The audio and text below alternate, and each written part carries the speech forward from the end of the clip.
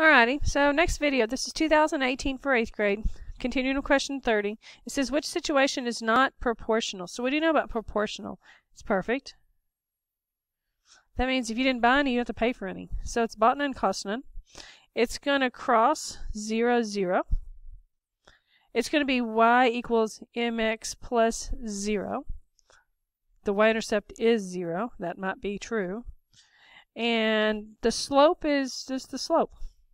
So the number of gallons in this many barrels with 42 gallons of water in each barrel. I'm going to put my variable on each. So 42 gallons of water in each barrel. An amount of employee makes per hour earned in this many hours. And there's my per. The weight in a puppy that gains 2 pounds per week if its starting weight is 8 pounds. Okay. And then the last one, the cost of purchasing pounds of bananas at blank per pound. Of those four, one's different because it's the one that does not work. So it should have zero fee. So this is, says it's 42 gallons of water in each barrel. The end. This is 850 per hour, no more, no less. This is two pounds per week and starts at eight pounds. And this one is uh, 55 cents per week. Which one's different? Answer is H. Why? Because it has an extra number of 8. And that's you're starting. If it was proportional, it'd start at 0. Question 31. What's going on? Oh, now is transformation the fancy word or is translated the fancy word? That one's nothing. You can omit that one. It's this one. Do y'all see slide? Do you see a plus sign maybe? Maybe this is an add subtract. What about multiplying? Multiplying's wrong. 6 to the left, 4 to the, whoops, four units up, there that is, six to the left. I'm going to box those in, then kind of gets crazy. Would this be my, I don't know, my right? Is this my left? By the way, the L is right down here if you're not sure. I hope you know this is up, and I hope you know this is down. So, it has to have an add or subtract. So you can, the first two, don't pick them. What else can I say? Don't pick them. And didn't it say 6 to the left? Isn't left on the negative side? So it should be x minus 6. And if that's true, you should have picked choice D, x minus 6. Question 32. He's collecting data from several of his friends about the number of hours they spent sleeping on the number of hours they spent playing on video games Saturday. He records the data on the scatter plot. Based on this scatter plot, what is the best prediction of the number of hours uh, of Phil's friends spend sleeping when one friend is one hour playing video games? So, would you agree that kind of this is the. And I might grab my pencil. Kind of, isn't that the bottom of the line? Wouldn't that be the top of the line? So I could just use that extra pencil that you're supposed to take with you. There's the bottom. There's the top. It's somewhere in that zone. I can tell you that much for sure. It has to be in that window, though. So based on the scatter plot, what is the best prediction of the number of hours? By the way, that's sleeping. This is hours. Hours that one of his friends spends sleeping when the friend spends one hour playing. Go find one hour playing video games. That's one hour sleeping. That's one hour playing video games. So I'm looking for that piece right there. so if that's true, I'm going to use my fancy highlighter. I'm looking right there. So, 9 hours is predicted. That would be here. Here's choice A. Choice B is 8 hours. Choice C is 10 hours. Choice J, or D, is 7 hours. Is it D? No. Is it C? No. So here's A and here's B. I would say it's going to be closer to the middle. Answer A. Kind of easy. Next. The diameter of a rectangular piece of paper is this many inches. He folded it on the diagonal. Which measure closest to the length of the diagonal in inches? You got to know some keywords. Here's a piece of paper. And it's eight and a half by 11. Those are inches, and I'm not going to, but it's inches. Diagonal is catty corner. It's right here. And if you, would you agree that's a right angle? It would be if I drew it correctly. And if I shade this picture in, what shape did I end up making? Why, yes, a triangle. How about a right triangle? How about a squared plus b squared equals c squared kind of triangle? How about a is tall, b is the base, and c is the hypotenuse? So how about a is 8.5 squared, and b is 11 squared, and c is still c squared? And how about put all of that in y1 and put that in y2 and see what you get. Alrighty, so I type mine in. There's my 8.5 squared plus 11 squared, and there's my x squared. Remember, you don't have any c squares. Um, I did windows of negative 200 because I know 11 times 11 is 121. And these answers are going to be 19 times 19, and, and those are going to be some big numbers. So I did 200. If it's not going to work, we'll find out in a minute. There's my graph. And so I'm going to do, and you can see where the straight line comes across, and you can see the parabola, it's the curve. And then it's going to be second trace 5, 3 enters later. Uh, 13.9. And I believe that is choice D. Now, what about doing it by hand? I can do it by hand. So, but you're going to use your calculator though. So you're going to have to do 8.5 squared. So 8.5 squared be sure to use the little 2 button. That's 72.25. And then 11 squared is 121 if you know your facts. And then add those together. You get 193.25 probably. And the square root of that is 13.91. It's actually 13.901. Question 34. The amount of water an electric dishwasher uses to wash dishes varies directly with the amount of loads of dishes. The dishes uses 32 gallons of water to wash 4 loads of dishes. How many gallons of water do you need for 10 loads of dishes? The key word is right here. Varies directly, if I can find it. Right there. And what does varies directly mean? Direct variation. What does direct variation mean? proportion. That means line, double line, line. It means proportion. That means you're going to have an A, a B, a C, and you're going to have an X, and you're going to have a start, diagonal, divide. Proportion.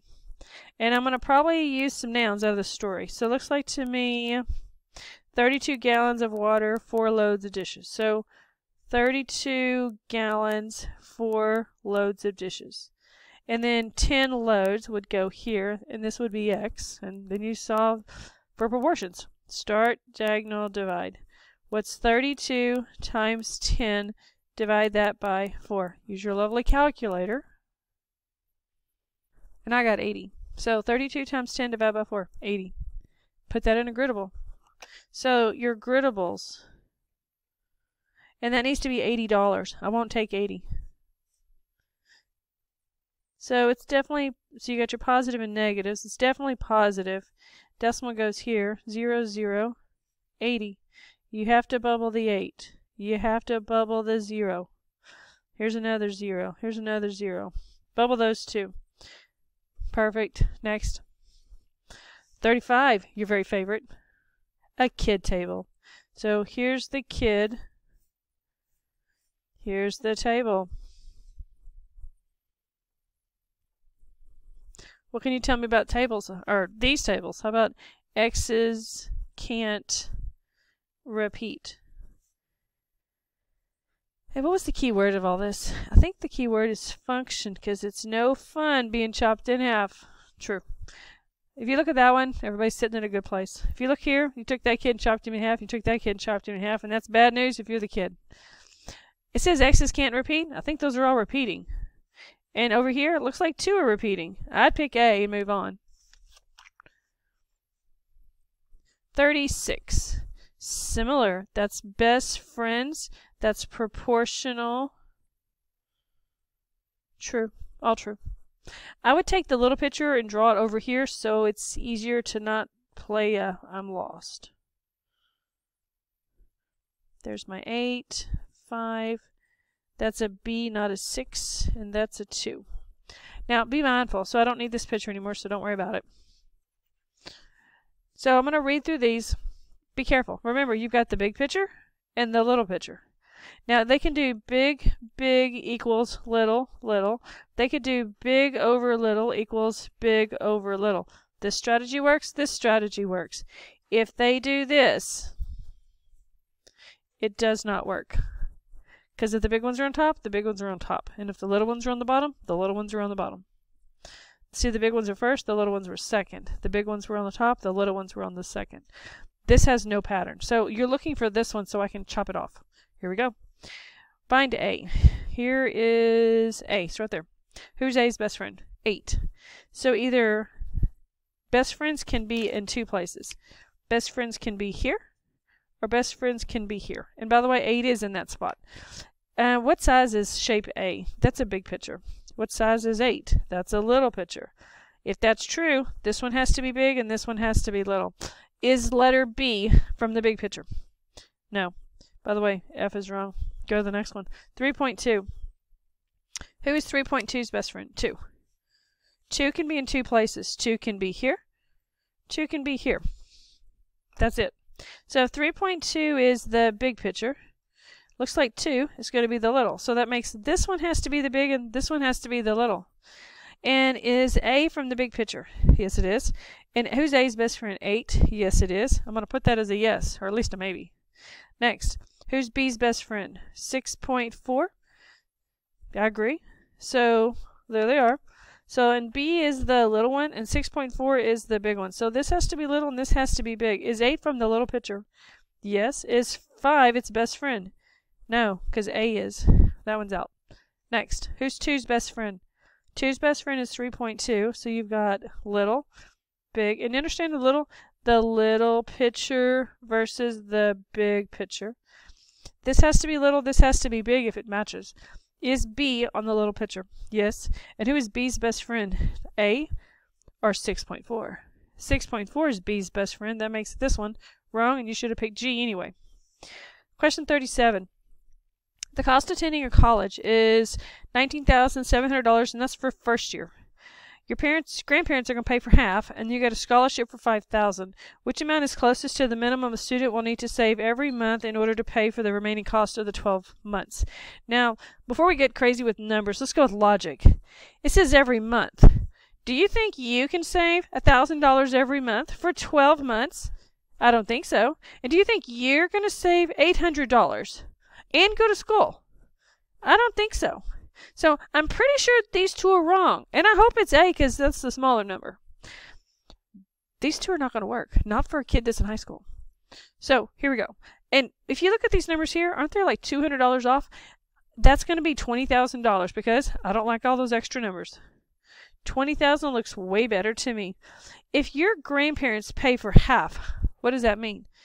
Divide by 2 and they paid $10,000 grandparents paid. What if a scholarship pays you $5,000?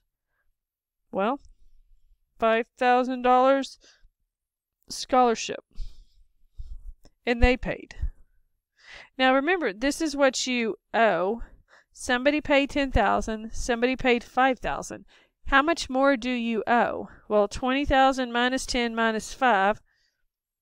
20,000 minus 10